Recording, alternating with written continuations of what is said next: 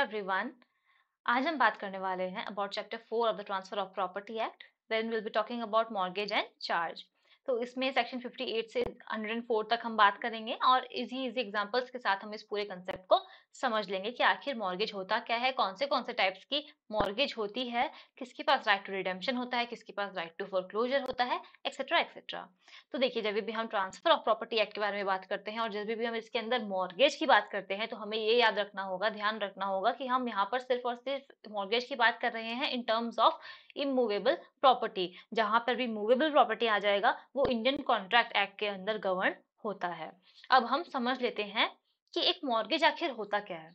तो अगर मैं सिंपल भाषा में आपको समझाऊं सपोज़ मैं हूँ और मुझे पैसों की ज़रूरत है, मुझे पचास लाख की ज़रूरत है तो अब मैं क्या करती हूँ कि मैं किसी एक पर्सन के पास जाती हूँ, कोई भी हो सकता है, मैं उसके पास जाती हूँ और मैं उससे कहती हूँ कि ये मेरे प्रॉपर्टी के कागज़ हैं, तुम एक काम करो, मेरे प्रॉपर्टी के कागज़ अपने पास रखो और इसके बदले, इसे एज ए सिक्योरिटी रख के इसके बदले मुझे पचास लाख रुपए दे दो और मैं तुम्हें सपोज़ दस साल बाद ये पचास के पचास लाख रुपए वापस लौटा दूँगी विथ इंटरेस्ट और सपोज़ अगर मैं तुम्हें ये पूरे पैसे नहीं लौटाती हूँ तो तुम क्या कर सकते हो? इस प्रॉपर्टी के कागज़ तो तुम्हारे पास है ही। इसको तुम या तो खुद रख लेना या फिर इसको सेल करके जो भी पैसा तुम्हारा बने उस पैसे ले लेना।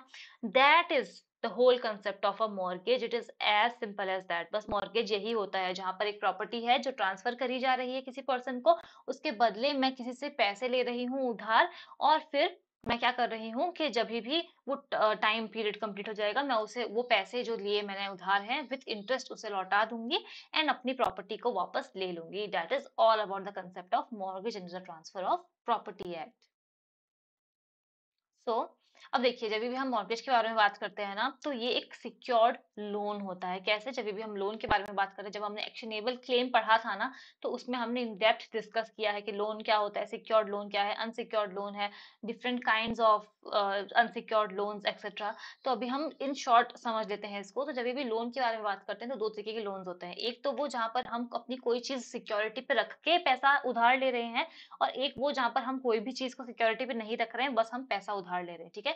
तो जो मॉर्गेज होता है तो हम यहाँ पर ऑब्वियसली बात है अपना पैसा, अपना प्रॉपर्टी का जो कागज़ है, वो हम रख के पैसा ले रहे हैं ना किसी से तो वो क्या हो जाएगा? एक सिक्योर्ड लोन हो जाएगा। तो मॉर्गेज क्या है? Mortgage under the transfer of property act is a secured loan बस हमें इतना ध्यान में रखने की ज़रूरत है।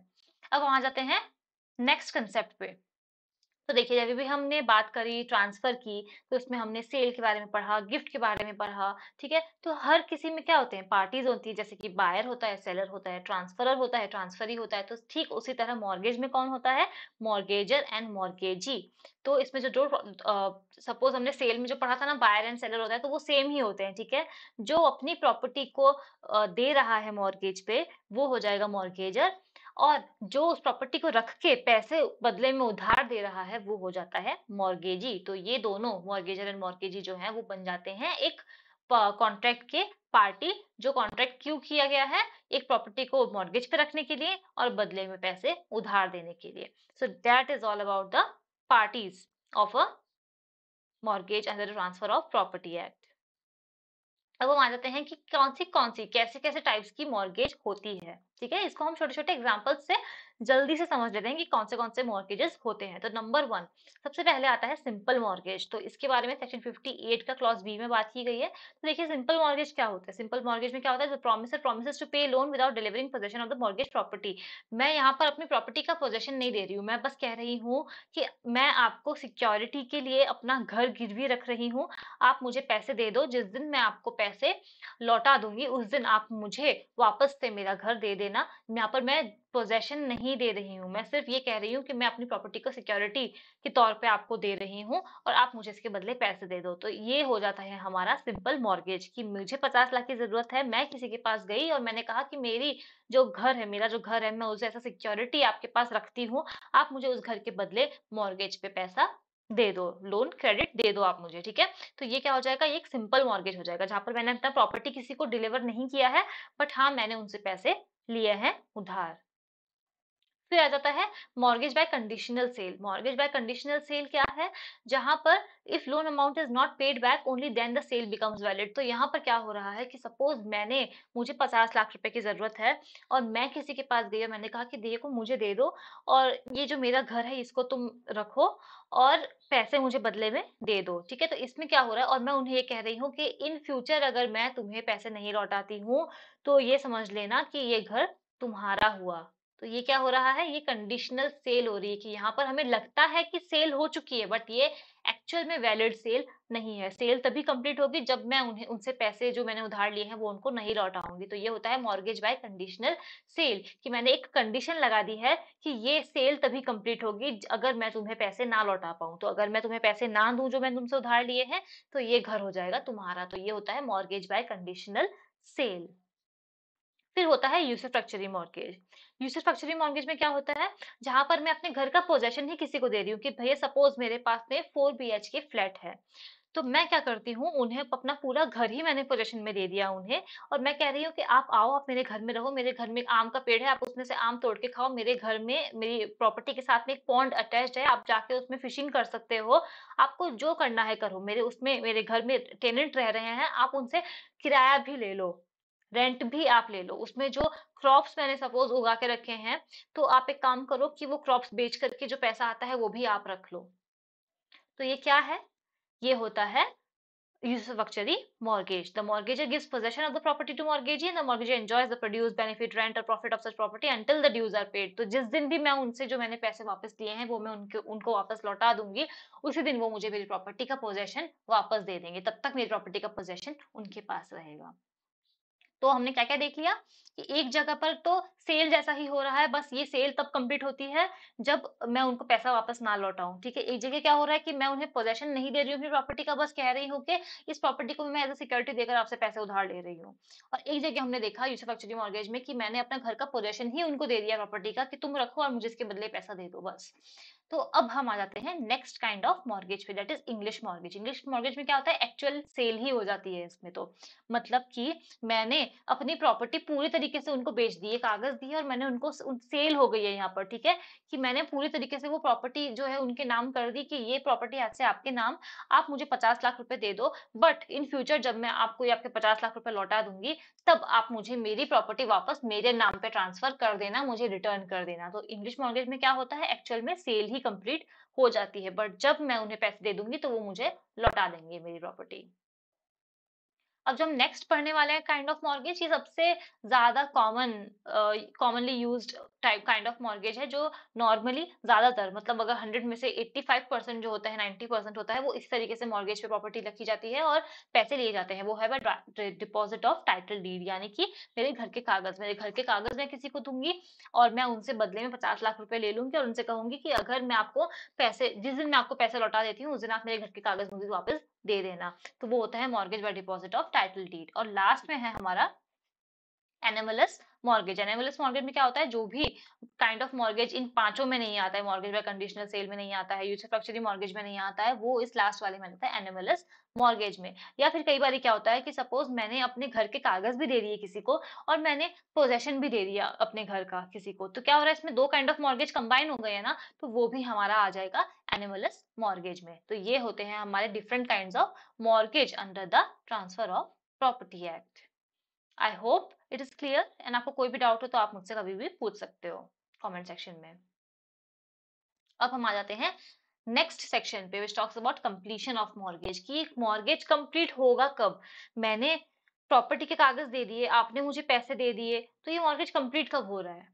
हाँ? तो ये मॉर्गेज तीन तरीके से कंप्लीट हो सकता है, ठीक है? एक तो तब जब रजिस्ट्रेशन कंप्लीट हो जाए एक तो ऐसे भी हो सकता है कि मैं अपनी प्रॉपर्टी का जब आपको पोजेशन डिलीवर कर दूँ, तब मॉर्गेज कंप्लीट हो जाए, या फिर जब मैं आपकी प्रॉपर्टी के कागज़ आपको दे दूँ, तब मॉर्गेज कंप्लीट हो जाए। इसके पहले हम भी देख लेते हैं कि मॉर्गेज पे जो हम पैसा किसी से ले रहे हैं और फिर उनको इंटरेस्ट के साथ देंगे, उसको कहते क्या है? तो देखो, मुझे पचास लाख की ज़रूरत थी, मैंने दस साल के लिए किसी से पचास लाख रुपए लिए। अब ऐसा तो नहीं है ना कि वो दस साल बाद मुझसे पचास लाख रुपए ही लेगा। इंटरेस्ट तो वो मुझसे लेगा ही। तो इसीलिए वो जो पचास लाख रुपए हैं, वो है प्रिंसिपल अमाउंट और प्रिंसिपल अमाउंट के साथ जो दस साल का इंटरेस्ट लग जाएगा, वो कंबाइन होके बन जाता है मॉर्गेज मनी ठीक है? और ये जो प्रिंसिपल अमाउंट है ना 50 लाख का जो मैं किसी से उधार ले रही हूँ, जब भी ये प्रिंसिपल अमाउंट सौ रुपए से ज़्यादा होगा, उन इन डेट केस मॉर्गेज पे रजिस्ट्रेशन करना कंपलसरी हो जाएगा। कंपलसरी रजिस्ट्रेशन हो जाएगी जब भी जो प्रिंसिपल अमाउंट है वो सौ रुपए से ज़्यादा की होगी। So that is all about it so कैसे कैसे मॉर्गेज कंप्लीट होगा? नंबर वन जब रजिस्ट्रेशन हो जाए नंबर टू जब मैंने अपना पोजेशन ही दे दिया किसी को कि लीजिए, इसको अपने पोजेशन में रखिए, तब मॉर्गेज कंप्लीट हो जाएगा और वो मुझे पैसे दे देंगे। और तीसरा, जब मैंने अपने घर के जो कागज़ है, वो किसी को उधार पे सॉरी मैंने किसी के पास रख दिया है गिरवी उसको तो वो तभी भी हो जाता है हमारा mortgage complete that is all about section number fifty nine of the transfer of property act और ये जब भी मॉर्गेज जो है रजिस्ट्रेशन होगा, तब ऑब्वियस सी बात है कि वो अटेस्ट होगा और दो विटनेस का उसमें सिग्नेचर होना ज़रूरी है साइन होना ज़रूरी है that is all about it अब हम आ जाते हैं सेक्शन नंबर सिक्सटी पे, जो कि बहुत इंपॉर्टेंट सेक्शन है it talks about right to redemption देखो, हमने जब एक्शनेबल क्लेम पढ़ा था, तभी भी हमने देखा है कि जब भी कोई एक पर्सन है जो अपनी ड्यूटीज़ को कंप्लीट नहीं करता है, अपनी रिस्पॉन्सिबिलिटीज नहीं निभाता है तो वो किसी और पर्सन का राइट right बन जाता है, ठीक है? तो ठीक उसी तरह हम यहाँ पर बात कर रहे हैं about right to redemption right to redemption किसकी राइट है? एक मॉर्गेजर की राइट है। यानी कि उस व्यक्ति की राइट है जो अपने प्रॉपर्टी को देकर, ठीक है? प्रॉपर्टी के कागज़ को देकर या फिर अपने प्रॉपर्टी का पोजेशन देकर किसी को उनसे पैसे उधार ले रहा है तो उसके पास है राइट टू रिडेम्पशन बट वो उसको कब क्लेम कर सकता है इस राइट को? वो तभी क्लेम कर सकता है जब वो उस जो उधार लिए हुए पैसे हैं उसे वापस लौटा दे। So it is a right to recover something by making certain payment मैंने किसी से मुझे, मैंने किसी से पचास लाख रुपए लिए और मैंने उनके पास अपने प्रॉपर्टी के कागज़ रख दिए। अब मैं उनको पचास लाख रुपए वापस लौटा रही हूँ, मैंने लौटा दिए। तो मेरे पास क्या है? राइट टू रिडेम्पशन है, यानी कि मेरे पास राइट है कि अगर मैंने आपको पैसे लौटा दिए तो आप मेरी प्रॉपर्टी भी मुझे वापस लौटा दो। कोई भी व्यक्ति, कोई भी व्यक्ति मेरी प्रॉपर्टी को अपने पास नहीं रख सकता है अगर मैंने उनको टाइमली पैसे लौटा दिए हैं तो that is all about the right of redemption जो कि होता है एक मॉर्गेजर के पास। ठीक है, इसको हमने देख लिया, एग्ज़ाम्पल के थ्रू हमने समझ लिया है कि कैसे हो, क्या होता है। अब हम ये देख लेते हैं कि कब कब एक मॉर्गेजर कैसे कैसे एक राइट टू रिडेम्पशन को एक्सरसाइज कर सकता है, ठीक है। तो नंबर वन कि मैंने किसी से पचास लाख रुपए लिए और उनके पास अपनी प्रॉपर्टी रखी तो जब भी मैं वो पूरे पैसे वापस उनको दे दूँगी विथ इंटरेस्ट तो वो प्रॉपर्टी मुझे वापस मिल जाएगी। Number two by filing a suit for redemption कि मैं उनको पैसे दे चुकी हूँ, पचास लाख रुपए वापस बट अब वो मुझे मना कर रहे हैं कि नहीं, तुमको प्रॉपर्टी वापस नहीं मिलेगी। तो मैं जाकर कोर्ट से मांग सकती हूँ मेरी प्रॉपर्टी कोर्ट को जाके मैं सूट फॉर रिडेम्पशन फ़ाइल करूँगी और कोर्ट के थ्रू मैं अपनी प्रॉपर्टी वापस ले सकती हूँ। एंड तीसरी बात सपोज़ करिए कि दस साल के लिए मैंने लिया था पचास लाख रुपए और मैं वापस नहीं लौटाती हूँ।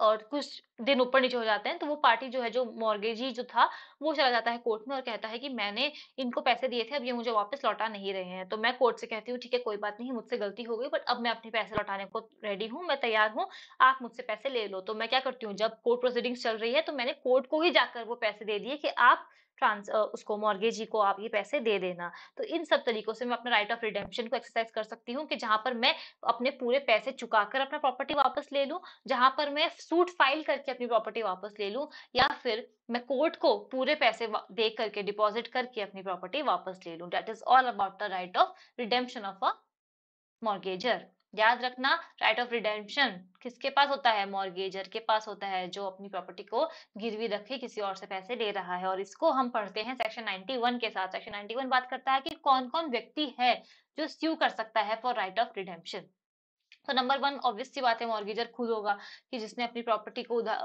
गिरवी रखा है, वो खुद ही तो स्यू करेगा ना सबसे पहले कि हाँ मुझे मेरी प्रॉपर्टी वापस दे दो, मैंने पैसे वापस लौटा दिए हैं। नंबर टू कौन हो सकता है? Person having any interest in the right to redeem वो कैसे? कि अब हम इसको इसके पॉइंट नंबर फोर की हेल्प से समझ लेते हैं। Creditor of deceased mortgagor suppose मैंने, मुझे पचास लाख की ज़रूरत थी, मैंने किसी को बोला कि मेरे प्रॉपर्टी के कागज़ रखो और मुझे पचास लाख रुपए दे दो। अब क्या हुआ कि मैंने उन्हें पूरे पचास लाख रुपए लौटा दिए बट लौटाने के बाद मेरी हो जाती है डेथ अब मैंने पचास लाख रुपए दे दिए बट उन्होंने अभी तक मेरी प्रॉपर्टी वापस नहीं दी है। तो अब वो उस प्रॉपर्टी को वापस कौन ले सकता है? सपोज़ मैंने किसी और से भी पैसे उधार लेके रखे थे सो नाउ अगर मैं मर जाती हूँ सपोज़ तो फिर जो मेरा क्रेडिटर था, ऐसा तो नहीं है ना कि उसके पैसे डूब जाएँगे, उसको तो पैसे मिलेंगे ही मिलेंगे अपने वापस। तो इसीलिए वो जो मेरा क्रेडिटर था ना, वो भी जाके स्यू कर सकता है कोर्ट में बिकॉज़ जब तक जब तक मैंने जिसको अपनी प्रॉपर्टी दी थी और पोजेशन में दिया था और जिसने मुझे बदले में पैसा दिया था, जब तक वो वापस प्रॉपर्टी लौटाएगा नहीं, तब तक क्या वो क्रेडिटर वो उस प्रॉपर्टी को बेच सकता है? नहीं बेच सकता है, ठीक है? तो इसलिए क्रेडिटर का भी राइट होता है, क्योंकि उसका इंटरेस्ट है उस प्रॉपर्टी में, इसलिए वो भी जाकर के स्यू कर सकता है for redemption and also surety of mortgagor surety of mortgagor कैसे कि मैंने किसी से अपना ज़मीन का कागज़ रखा, गिरवी, और मैंने उससे ले लिए पैसे। और एक एक्स वाई जेड कोई भी एक पर्सन था, उसने कहा कि आई विल मेक श्योर कि ये तुम्हें टाइमली ये पैसे वापस लौटा देगा। तो वो हो जाते हैं श्योरिटी और इन केस मैंने वो पैसे लौटा दिए हैं तो वो श्योरिटी भी जाकर के स्यू कर सकता है रिडेम्पशन के लिए कि, भैया, इसने पैसे दे दिए हैं, अब तो तुम इसकी प्रॉपर्टी वापस कर दो। तो इसीलिए ये सारे पर्सन होते हैं वो, जो एक रिडेम्पशन का जो राइट है, उसके लिए स्यू कर सकते हैं मॉर्गेजी को। That is all about right to redemption अब देखो राइट टू रिडेम्पशन पढ़ लिया हमने कि मॉर्गेजर का राइट है तो मॉर्गेजी का भी तो कुछ राइट होगा ना? तो मॉर्गेजी के राइट को कहा जाता है राइट टू फोरक्लोजर तो मॉर्गेजर को राइट कब मिला? जब उसने पैसे लौटा दिए वापस, तब वो अपनी प्रॉपर्टी जाके वापस मांग रहा है, ठीक है? तो फिर मॉर्गेजी के पास कैसा राइट है? मॉर्गेजी के पास राइट तब आएगा जब उसने मुझे पैसे दिए। बट मैंने उसको पैसे नहीं लौटाए वापस। तो मॉर्गेजी के पास क्या राइट है? मैंने तो कहा ना कि हम मॉर्गेज पे क्यों दे रहे हैं सिक्योरिटी हम एक प्रॉपर्टी के कागज़ क्यों देते हैं सिक्योरिटी पे कि सपोज़ मैंने पैसे नहीं लौटाए तो आप इसको बेच करके अपना जो हिसाब है उसको बराबर कर लेना। तो वही कहता है राइट ऑफ़ फॉरक्लोजर सेक्शन 67 में इसके बारे में बात होती है। और राइट ऑफ़ फॉरक्लोजर में क्या होता है कि जब भी मैं अपना पेमेंट आपका पेमेंट आपको नहीं देती हूँ तो एक उस डेफिनेट पीरियड के बाद आप क्या कर सकते हो? आप मेरी प्रॉपर्टी को बेच करके अपना पैसा वापस ले सकते हो। तो ये दो तरीके से होता है, ठीक है? फोरक्लोजर दो तरीके से हो सकता है। एक तो होता है बाय सेल एक तो होता है बाय फोरक्लोजर कैसे? कि मैंने अपनी प्रॉपर्टी के कागज़ आपको दिए और उसके बदले आपसे पचास लाख रुपए लिए, ठीक है? तो ये तो हो गया कि मैंने आपको आपको वापस पैसे नहीं दिए तो आप मेरी प्रॉपर्टी के कागज़ किसी और को दे करके सेल करके पैसा अपना ले लोगे। बट एक होता है बाय फॉरक्लोजर फॉरक्लोजर कैसे कि हमने पढ़ा था ना अंदर यूसुफैक्चरी मॉर्गेज यूसुफैक्चरी मॉर्गेज में हम क्या करते हैं, अपनी प्रॉपर्टी का पोजेशन ही दे देते हैं किसी को। तो सपोज़ कोई पोजेशन में है ऑलरेडी प्रॉपर्टी के और मैंने उसको, उसके पैसे नहीं लौटाए तो वो क्या कर सकता है, उस प्रॉपर्टी में रहना कंटिन्यू कर सकता है। वो प्रॉपर्टी उसी के पास रह जाएगी। तो ठीक है, दो ऑप्शंस होते हैं, एक मॉर्गेजी के पास। क्या होता है कि या तो उस प्रॉपर्टी को बेच के अपना पैसा ले ले ठीक है, सूद समेत वापस कर ले, या फिर वो मेरी प्रॉपर्टी को अपने पास ही रख ले हमेशा के लिए और तो क्या हो जाएगा, हिसाब बराबर हो जाएगा। So that is all about right of foreclosure और राइट ऑफ़ फोरक्लोजर किसके पास होता है हमेशा? एक मॉर्गेजी के पास होता है। That is all about it अब हम आ जाते हैं हमारे नेक्स्ट सेक्शन पे। जो कि बहुत इंपॉर्टेंट है because it talks about subrogation देखो सब्रोगेशन का क्या मतलब होता है? सब्सटीट्यूट करना किसी एक पर्सन के जगह कोई और जैसे हम नहीं पढ़ते हैं क्या कि आ, आ, वो फर्जी के जो एग्ज़ाम्स होते हैं जिसमें कि नाम किसी और का होता है बट कोई और जाकर उसकी जगह बैठकर एग्ज़ाम दे देता है तो वो क्या होता है? वो सब्सटीट्यूशन ही होता है। नहीं ट्रांसफ़र ऑफ़ प्रॉपर्टी में नहीं होता है। मैं बस आपको समझाने के लिए बता रही हूँ कि सब्सटीट्यूशन आखिर होता क्या है ठीक है? तो सब्रोगेशन में क्या होता है? दो तरीके के सब्रोगेशन के बारे में हम पढ़ेंगे ना ट्रांसफ़र ऑफ़ प्रॉपर्टी एक्ट जिसमें दो कौन से कौन से सब्रोगेशन है, उसको मैं आपको इजी एग्ज़ाम्पल से समझा देती हूँ। नाउ सपोज़ कि मैं हूँ। मुझे डेढ़ करोड़ रुपए की ज़रूरत है, डेढ़ करोड़ रुपए की मुझे ज़रूरत है। अब मैं क्या करती हूँ, मेरे पास में एक प्रॉपर्टी है तो मैं वो प्रॉपर्टी के कागज़ जाकर सपोज़ मेरे तीन भाई हैं और मैं ये प्रॉपर्टी के कागज़ जाकर मेरे तीनों भाइयों को दे देती हूँ और मैं उनसे कहती हूँ कि मुझे पैसों की ज़रूरत है, आप मुझे पैसा दो और ये तीनों भाई मेरी प्रॉपर्टी को अपने पास रख लो। तो ये क्या हो गया? ये भी मॉर्गेज हो गया। अब होता ये है कि मेरे उनमें से एक भाई को मेरे पैसों की ज़रूरत पड़ जाती है पचास लाख रुपए की जो उसका शेयर था, ठीक है? तो अब उसको ज़रूरत पड़ गई। तो मेरा दूसरा भाई होता है ना, वो मेरे उस भाई को कहता है कि देख तूने पचास लाख रुपए अपनी बहन को दिए थे, तू एक काम कर, तू पचास लाख रुपए तुझे ज़रूरत है तो तू एक काम कर, तू मुझसे ले ले वो पचास लाख रुपए और तू इस, ये जो हमारी जो पूरी डीड हुई थी, एक जो हमारे बीच में जो एक वो हुआ था एग्रीमेंट हुआ था एक मॉर्गेज को लेकर के तो तू उसमें से हट जा तेरी जगह मैं ले लूँगा। मतलब कि मतलब कि अब जब मैं डेढ़ करोड़ रुपए वापस दूँगी तो तीनों भाई को पचास पचास पचास नहीं दूँगी। यहाँ पर अब आ, कौन कौन हो गए यहाँ पे अब सिर्फ़ हमारे पास मॉर्गेज दो भाइयों के बीच में ही रह गया कि मैंने प्रॉपर्टी दी थी तीन को है ना? बट एक को ज़रूरत पड़ गई तो किसी और ने किसी और तीसरे भाई ने मेरे उसको पचास लाख रुपए देके उसको इस पूरे डील डील से हटा दिया। उसको बोला कि तुम हटो और तुम्हारी जगह अब मैं ले लेता हूँ। तो अब क्या हो रहा है? यहाँ पर दो ही पार्टीज़ बच गई हैं सी और डी तो ये होता है लीगल सब्रोगेशन की तीन पार्टीज़ है, तीनों पार्टीज़ ने ही सब्सिट्यूशन कर लिया है। तो अब जब मैं पैसा लौटाऊँगी ना तो मुझे उसको देने की ज़रूरत नहीं है। मैं एक एक करोड़ रुपए, एक भाई को दूँगी, पचास लाख रुपए एक भाई को दूँगी। जिसने उसको दिया था ना, दूसरे भाई को, उसको मैं एक करोड़ रुपए दूँगी पूरे। So that is all about legal subrogation जहाँ पर क्या हो रहा है कि आप अलग अलग पार्टीज़ को दे रहे हो अपनी प्रॉपर्टी को मॉर्गेज पे, पर उन पार्टीज़ के बीच में ही अदला बदली हो रही है सब्रोगेशन हो रहा है सब्सटीट्यूशन हो रहा है, उसे कहते हैं legal subrogation but suppose conventional subrogation क्या होगा फिर? कन्वेंशनल में क्या होता है कि लेट सपोज़ कि मैंने अपनी प्रॉपर्टी तीन भाइयों को दी बट उसमें से एक भाई को पैसों की ज़रूरत है। अब मेरी मम्मी आ जाती है। मेरी मम्मी क्या थी? इस इस पूरे मॉर्गेज में वो पार्टी नहीं थी, ठीक है? ये बाहर से पार्टी आ रही है। मेरी मम्मी आके कहती है कि चल ठीक है, तू मुझसे पचास लाख रुपए ले, तू हट जा, तेरी जगह मैं आ जाती हूँ। तो अब ये जो मैंने अपनी प्रॉपर्टी मॉर्गेज पे रखी है, वो मेरे दो भाई और मेरी मम्मी के पास रखी है, ठीक है? तो मम्मी क्या हो गई? सब्सिट्यूट हो गई इसमें। तो जहाँ पर भी पार्टी बाहर से आके किसी को सब्सिट्यूट कर रही है, वो हो जाएगा कन्वेंशनल सब्रोगेशन और जहाँ पर भी जो पार्टीज़ है ना, उस मॉर्गेज के, उन तीनों के बीच में ही अदला बदली हो वो हो जाता है हमारा लीगल सब्रोगेशन देखिए, समझा देना इतनी तरीके से। मैं आपको बता रही हूँ कि ये बस पढ़ने में हमें लगता है कि ये पता नहीं क्या कोई रॉकेट साइंस है बट नहीं, अगर हम इसे एग्जाम्पल्स के साथ समझे तो ये बहुत ईजी हो जाता है हमारे। So that is all about subrogation अब हम आ जाते हैं इस टॉपिक के हमारे लास्ट सेक्शन पे विच टॉक्स अबाउट चार्ज। देखिए, सेक्शन नंबर हंड्रेड हमारे लिए सबसे ज़्यादा ज़रूरी इसीलिए है, क्योंकि देखो, मैंने आपको जब transfer of property act day one से पढ़ाया, तब से मैं आपको ये बता रही हूँ कि ट्रांसफ़र ऑफ़ प्रॉपर्टी एक्ट हमेशा एक्ट ऑफ़ पार्टीज़ पे अप्लाई होता है, यानी कि वहाँ पर दो लिविंग पर्सन इंटरव्यूज़ होना चाहिए तभी transfer of property act applicable होता है। बट जब भी हम सेक्शन हंड्रेड के बारे में बात करते हैं जो चार्ज के बारे में बात करता है तो ये एप्लीकेबल होता है ऑपरेशन ऑफ़ लॉ पे भी। इसीलिए ये जो हमारा जनरल रूल है ना, कि transfer of property act is only applicable to the act of parties इस जनरल रूल का एक एक्सेप्शन है, और वो एक्सेप्शन है section number hundred that is charge अब ये चार्ज कैसे क्रिएट होता है? मैंने जो ये अपनी प्रॉपर्टी दी ना प्रॉपर्टी के कागज़ दिए गिरवी पे उस गिरवी पे रखने को ही चार्ज बोलते हैं। ठीक है? कि मैंने अपनी प्रॉपर्टी दी किसी को चार्ज पे और कहा कि तुम मेरी प्रॉपर्टी को रखो और मुझे इसके बदले पचास लाख रुपए दो। बट अगर मैं तुम्हें ये पैसे नहीं लौटाती हूँ तो, तो ये जो मैंने चार्ज पे प्रॉपर्टी रखी है ये तुम्हारी हो जाएगी। तो ये क्या है? बस यही चार्ज है। बस सच में charge on an immovable property is created to secure payment of the money if payment is not made by the person who is liable for such payment it is made out of the property charge for this purpose जो security पे जो हम property को रख रहे हैं, वही उसका चार्ज है।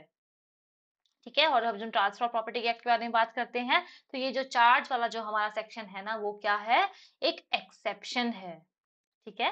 उस जनरल रूल का कि transfer of property act operation of law पे अप्लाई नहीं होती है बट चार्ज के ऊपर अप्लाई होती है तो इसलिए ये उसका एक एक्सेप्शन है and that is all about the chapter of charge and mortgage I hope मैं आपको सिंपलेस्ट फॉर्म में इजिएस्ट वे में इसको समझा पाई हूँ। मैंने कोशिश की है कि मैं जितना इजीली आपको समझाऊँ, मैं आपको समझाने की कोशिश कर पाऊँ, मैंने आपको समझाने की कोशिश की है। बट स्टिल अगर आपको कोई भी डाउट हो, आप मुझे इंस्टाग्राम पे डीएम कर सकते हो। कमेंट सेक्शन में भी आप मुझे कमेंट करके पूछ सकते हो। मैं आपको लिटरली ये समझा दूँगी। अगर आपको कोई भी डाउट होगा I will try to solve it out तो फिर चलिए मिलते हैं अगली क्लास में विद अनदर टॉपिक तब तक के लिए हैप्पी रीडिंग्स